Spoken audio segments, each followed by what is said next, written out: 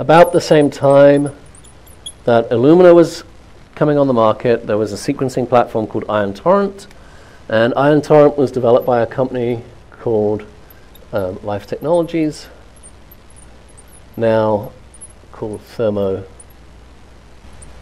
Fisher.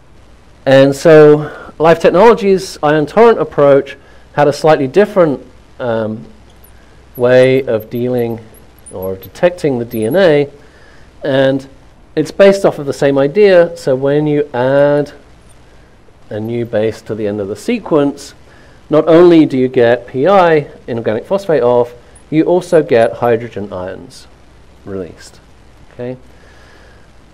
So if you release hydrogen ions into a fluid, it means the pH goes down, the fluid becomes more acidic.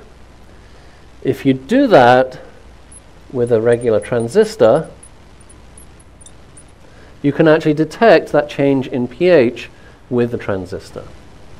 And so Ion Torrent developed a, um, a, detection system based off of transistors where you could add the, the DNA into small wells, you could add the nucleotides, and it would detect the hydrogen ions coming off. Ion Torrent sequencing is still uh, it's still available, it's still in use. It's not as widely used as Illumina sequencing.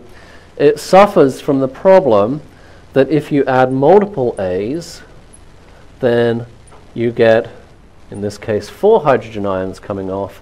And so that gives the um, detection system a bit of a, an issue because when you get one base, you get a peak. When you get two base bases, you get a peak, but it's not quite twice as much. When you get three bases, you get a peak, but it's not three times what it was for one, and so on. And so as you add uh, consecutive bases, you, your signal starts degrading. Okay, and so ion torrent runs into the problem of detecting what are called homo polymeric runs. What that means is just a run of the same nucleotide, whether it's A's or T's or G's or C's. Okay, it just has an issue detecting it.